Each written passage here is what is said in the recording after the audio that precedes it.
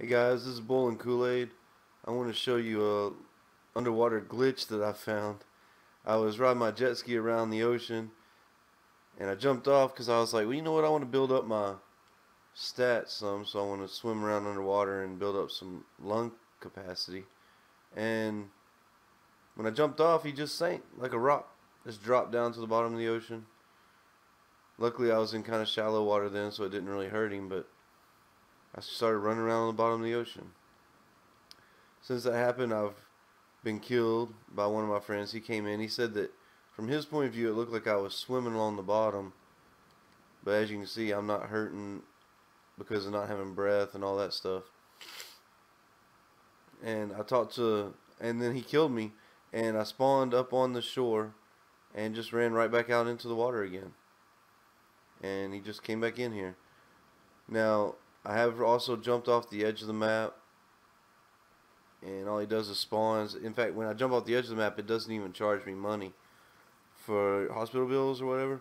It just sticks me back on the shore, which is kind of cool. But here, I'll run up onto the shore and show you that it's not an isolated thing. It's not something that just happened to me once.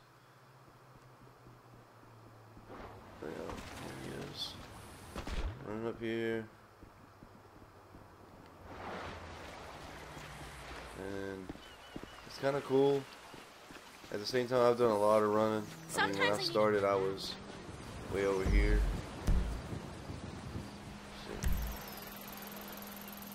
Yeah, I started down here by the airport. And between trying to make some videos and just meandering around, I also got killed a couple of times by people who didn't realize what I was doing. But yeah, so then I just run back off of the shore, run down the beach, and then back into the water. Ah, big wave. And then there we are.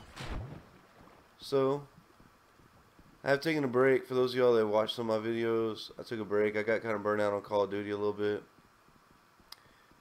And then on Minecraft, I got burned out a little bit just because I got my hopes up about the uh, mashup pack that was coming out. It didn't really live up to my expectations, so I just kind of put it down for a minute. I'll, I'll still play those games and everything. I just, well, not Call of Duty. I already trade Call of Duty in, but I'll play the next Call of Duty when it comes out. And I'll probably make a few videos of Grand Theft Auto online. I, I wanted to wait for the online. I used the single player really get used to the mechanics and stuff.